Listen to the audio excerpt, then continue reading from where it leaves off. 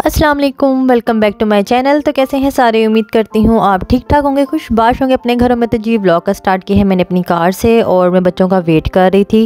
उनको पिक करूँगी और उसके बाद जाएँगे घर। आज मैं अपने आपको अपने किचन का ना फुल टूर दूँगी और बताऊँगी कि मैंने किस तरीके से आ, अपने बजट में रह के इसको किस तरीके से मैनेज किया है और उसको डेकोरेट भी किया है और छोटा सा मैंने इसको किस तरीके से अपनी जो स्मॉल स्पेस को जो है ना यूटिलाइज़ किया है डिफरेंट एसेसरीज़ के साथ।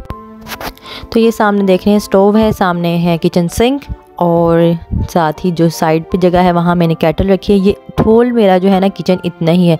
इसी को मैंने स्मॉल स्पेस को यूटिलाइज़ करके अपना सारा वर्क करती हूँ। ज़रूरी नहीं है कि आपका बहुत बड़ा किचन ही हो तो फिर आप काम कर सकते हैं। आप छोटी जगह को भी यूटिलाइज़ कर सकते हैं और आपको ऐसी चीज़ें देखनी चाहिए जो आपको कम से कम जगह घेरे। तो सबसे पहले मैंने सा, सा, सामने आपको दिखा रही किचन टावल भी जो है ना नीचे रखने के बजाय मैंने इसको ऊपर हैंग किया है।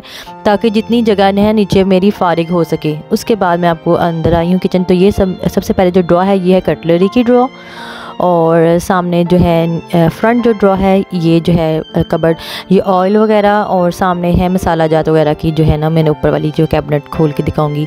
और कैबिनेट्स को ना, और अच्छे तरीके से ना ज़्यादा सामान रखने के लिए डिफरेंट ऑर्गेनाइजेशन के लिए जो है ना मैंने शेल्व्स ली हैं। ये आपको दिखा रही हूँ, ये सेवन नाइन्टी नाइन की है।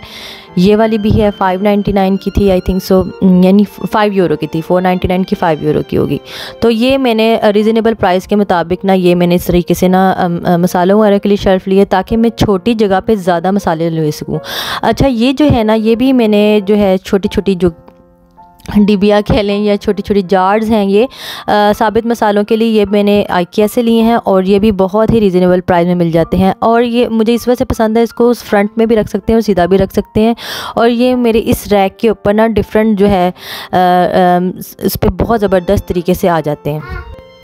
इसी तरीके से बर्तनों के लिए मैं ये कॉर्नर शेल्फ लाई हूँ और यहाँ प्लेट्स आराम से रखी जा सकती हैं। अब ये देखें, मेरे पास इतनी सी जगह थी। अब मैं किस तरीके से इसको यूटिलाइज़ कर सकती हूँ? क्योंकि ऊपर नीचे काफ़ी स्पेस एम्प्टी रहती है। तो इस तरीके से मैंने ये शेल्फ स्ट्रेट रखी है। इस तरह स्टील में भी मिलती है। ये मेरी ओल्ड है तो थोड़ी सी ये लचक खा गई। सो मुझे स्टील में नहीं मिली तो मैंने कहा, चलो कोई नहीं, अब यही है। तो इसी से काम चलाएँ। तो ये देखें, ऊपर भी मैंने बर्तन रख लिए और नीचे भी रख लिए। ऊपर मेरे हैं कॉफ़ी और समझ चीनी के और टी के हैं जार्स और नीचे भी बर्तन हैं और यहाँ इस तरीके से मैं प्लेट्स रख लूँगी कॉर्नर शेल्फ लगा के। और इस तरीके से थोड़ी जगह में आप ज़्यादा सामान रख सकते हैं। अगर आप इस तरीके से अपने जो है ना जो कैबिनेट्स में जो जिसकी हाइट ज़्यादा होती है, इस तरीके से आप शेल्फ़ लगा देंगे ना उसके अंदर तो आप ज़्यादा तरीके से उसको यूटिलाइज़ कर सकेंगे, थोड़ी जगह को भी। इस तरीके से मैंने यूटिलाइज़ की है। तो अब आपको मैं अपनी फ्रंट जो है ना, मसालों वाली भी कैबिनेट दिखाती हूँ, किस तरीके से मैंने इसको अरेंज किया हुआ है।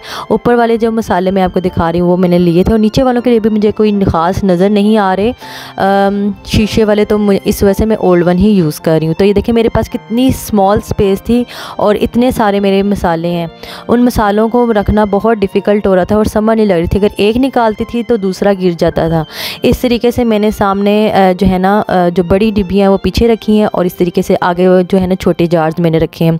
अच्छा आप ये नहीं है कि आपके पास जिन क्या नहीं है तो आप यूज़ नहीं कर, आपके पास ये वाली नहीं है जार्ज नहीं है तो आप क्या करें? तो पीछे वाले आप देख, जो जार्ज देख रहे हैं वो जैम के हैं। वो भी इतनी ज़बरदस्त बॉटल थी, पर मुझे लग रहा था कि वो स्टैकेबल नहीं है एक दूसरे के ऊपर। इस वजह से मैंने आगे नहीं रखी, वो बैक साइड पर रखी है, क्योंकि मुझे इसका डर लगता है वो गिर ना जाए। ये वाली जो है ना, एक दूसरे के ऊपर स्टैक भी कर लेती हूँ और साइड से ना उन्होंने प्लेन रखा है ताकि ज़्यादा आ सके। तो देखे कितने सारे जो है ना साबित मसाले मेरे। एक छोटी सी जगह पे आ गए हैं और आराम से मैं वन बाय वन करके निकाल सकती हूँ।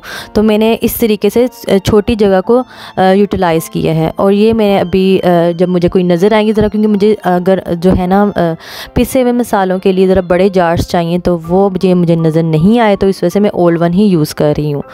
इसी तरीके जो आप ये देख रहे हैं, जो फ्रंट वाली जो है ना, ये यहाँ बॉयलर है, यहाँ कोई कैबिनेट नहीं है। तो ये बॉयलर के नीचे जो एम्प्टी स्पेस है ना, यहाँ मैंने डिश वॉशर लिक्विड वर्ड या क्लिंग फ़िल्म होती है, इस टाइप की चीज़ें रखी हुई हैं तो ये मेरी बिल्कुल मतलब इसका कोई नो यूज़ है। उसके बाद जी, ये कटलरी वाली जो ड्रॉ है, इसके अंदर भी पहले स्ट्रेट बिल्कुल कटलरी के लिए लगी हुई थी। तो ये अब आप न्यू स्टाइल की जो आई है ना, इस तरह के पूरी एक साइड पे मेरे पास जगह है और आराम से यहाँ स्पून वगैरह निकाल सकते हो। इस तरीके से स्पून जाते हैं।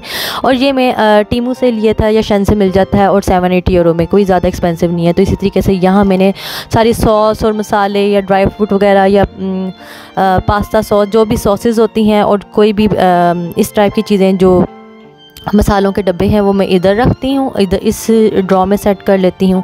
क्योंकि ये थोड़ी सी डीप है। और सबसे ज़्यादा जो है ना थर्ड वन डीप वाली है ड्रॉ इसके अंदर आप में टिन जो है और बेसन, इस टाइप की चीज़ें और जो ग्रोसरीज़ का जो सामान होता है वो मैं इधर रखती हूँ। तो इस तरीके से मैं पूरा अपना ये ऑर्गेनाइज़ करती हूँ कि मैंने ये मेरे पास एक स्टेप स्टूल भी है ताकि जो ऊँची चीज़ है तो मैं इस पर चढ़ के निकाल लेती हूँ। अब ये जो जगह थी ना, सबसे ज़्यादा ट्रिकी जगह ये थी सामने फ्रंट वाली जगह। इसको मैंने इस तरीके से जो आपने देखे हैं, जो मैंने पुराने भी आपको दिखाए थे, ये जो जार्स हैं ना, ये भी आइकिया से लिए थे। यहाँ मैंने सारी दालें रखी हैं। इस तरीके से मैं आराम से दालें निकाल सकती हूँ और ये देखें, यहाँ मैंने ये छोटा सा लगा के ना इसके ऊपर अपने ये हैंग करती हूँ ग्लव्स हैंग करती हूँ स्टिक स्टिकेबल है और ये रेंटल फ्रेंडली भी है। अगर आपका कोई रेंट का घर है तो आप इसको उतार भी सकते हैं। और सामने भी यहाँ बिल्कुल एम्प्टी स्पेस थी जब मैं इस घर में आई तो मुझे समझ नहीं लग रही थी मैं किस तरीके से ये सारी चीज़ें अपनी अरेंज करूँ। तो मैंने ये शेल्फ लगाई हैं। कैबिनेट लगाने का मैंने सोचा था, पर कैबिनेट मैंने इस वजह से नहीं लगाई क्योंकि मेरे पास बड़े जो बर्तन थे या बड़ी देचकियाँ थी ना, वो कैबिनेट में नहीं आ सकती थी। इस तरीके से शेल्फ़ लगाने से तो ये हुआ एक तो मेरा आ, है माइक्रोवेवन भी आ गया और साइड पे मेरे बॉटल्स रखने की भी जगह बन गई और नीचे मेरा एयर फ्राइड भी, भी आ गया और थोड़ी सी जगह को मैंने ज़्यादा मतलब ऑर्गेनाइज़ कर लिया। अगर आपके पास कैबिनेट नहीं है तो आप शेल्फ़ लगा के भी उसको ऑर्गेनाइज़ कर सकते हैं और शेल्फ़ मैंने इस तरीके से लगाई है कि आपको साइड पर अगर आप खड़े होते हैं ना तो ये आपको जो देच की है ना नज़र नहीं आती। और सबसे ज़्यादा इंपॉर्टेंट का बात यह है कि आप इतना ही सामान ख़रीदें जितना आपको पता हो कि मेरा ज़रूरत क्या है? एक्स्ट्रा सामान ना ख़रीदे जब आपके पास थोड़ी जगह हो। साथ साथ आप मेरी एक्टिविटीज़ भी देखते जा रहे हैं। मैं बना रही हूँ हलीम और साथ साथ आपसे बातें भी करती जा रही हूँ। ये जो आप देख रहे हैं पीछे टाइल्स जो देखते हैं, वो है स्टिकेबल टाइल्स हैं और जब मर्ज़ी इसको उतार सकते हैं वाटर प्रूफ है और ये मैंने शन से ली थी और तकरीबन अराउंड पूरे किचन में मेरे सेवेंटी टू एटी यूरो लगे थे। इस एक पैक में फ़ोर टाइल्स हुआ, होती हैं। तो बिल्कुल प्लेन वाइट टाइल्स हैं मेरी जो रियल किचन की। तो मुझे वो पसंद नहीं थी तो मैंने कहा आ, कोई क्यों ना ऐसी कोई चीज़ लगाई जाए जब दिल करे इसको उतार दें और उसको जो है ना लुक चेंज की जाए। तो इस तरीके से मैंने इसको यहाँ लगाया है। और आप, जब आपका रेंट का घर होता है स्पेशली जब आप वहाँ कोई काम नहीं कर सकते इस तरह का तो ये बड़ी फ्रेंडली होती है रेंटल फ्रेंडली इस वजह से इसको कहते हैं, क्योंकि यहाँ आप बाहर के मुल्क में इस तरीके से जो है ना, कोई भी आप किसी के घर में ना आप इस तरह अपना मर्ज़ी से काम नहीं करवा सकते। तो खैर, यहाँ मेरे साथ तो ऐसा प्रॉब्लम नहीं है, पर मैंने कहा कि पूरे किचन को रेनोवेट करवाने से बेहतर ये है कि आप क्यों ना ऐसी चीज़ तलाश की जाए कि जब आपका दिल भर जाए, आप उसको उतार के न्यू चीज़ लगाई जाए। तो इस वजह से मैंने टाइल्स वगैरह नहीं चेंज करवाई और मैंने किचन को मतलब फुल खर, मतलब नहीं उतरवाया। मैं सोच रही थी किचन को रेनोवेट करवा लूँ एस्टिमेट भी करवाया क्योंकि यहाँ जो है ना डिफरेंट रूल्स हैं। यहाँ अब ये रूल है कि जो स्टोव है वो आपकी वॉल के साथ नहीं होना चाहिए। अब जो न्यू रूल के मुताबिक तो मुझे सारे के सारे किचन के जो है ना, अगर रेनोवेट करवाती ना तो ईच एंड एवरीथिंग गिरानी पड़ती। इस तरीके से मैंने किचन को रेनोवेट नहीं किया और इसको ऑर्गेनाइज़ किया है। उम्मीद करती हूँ आज का आज का व्लॉग आपको अच्छा लगा होगा। व्लॉग का करते हैं अख्ताम कुरान पाक की इस आयत से, जिसका तर्जमा ये है, ए परवरदिगार, मुझे अकेला ना छोड़ और बेहतरीन वारिस तो तू ही है।